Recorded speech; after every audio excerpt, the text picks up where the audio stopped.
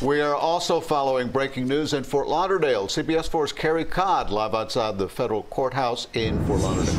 Inside, a Chinese businesswoman found guilty of trespassing at President Trump's Mar-a-Lago club was just sentenced. Carey.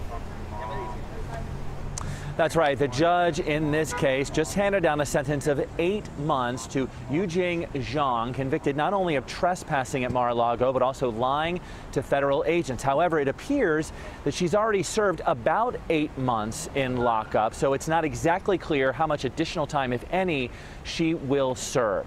Now, in court today, federal prosecutors asked for Zhang to get a more uh, strict sentence, alleging that she lied to a federal judge about how much money she had and because of the seriousness of this particular case. Federal prosecutors said she lied repeatedly to get on the grounds at Mar-a-Lago in late March even knowing that the event was canceled that she purportedly was trying to attend but saying she had to go to the pool uh, in order to get entry onto the grounds.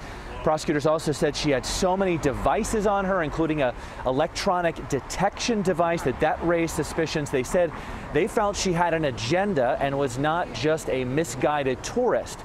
Now, Zhang's attorney said in court today that she did not have an agenda, that she, in fact, wanted some sort of partnership with President Trump because they both had real estate intentions. Now, she also said that Zhang had a number of devices and uh, a detect detention, uh, detection device, rather, for her safety. Now, Zhang did speak briefly in court, and she said that she simply wanted to be friends with Trump and the Trump family. Uh, the judge, however, uh, said that this was more evidence of her continuing to tell lies and that he felt this was a very serious offense with overwhelming evidence and he did go a little bit above the sentencing guidelines, which called for her to get somewhere between zero and six months.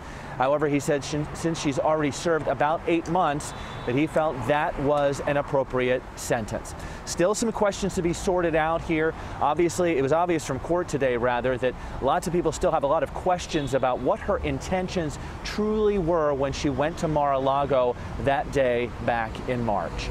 Live in Fort Lauderdale, Carey Codd, CBS 4 News.